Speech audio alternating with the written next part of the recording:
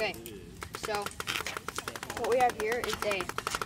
um, belt drive attached to the front shaft, and then the other part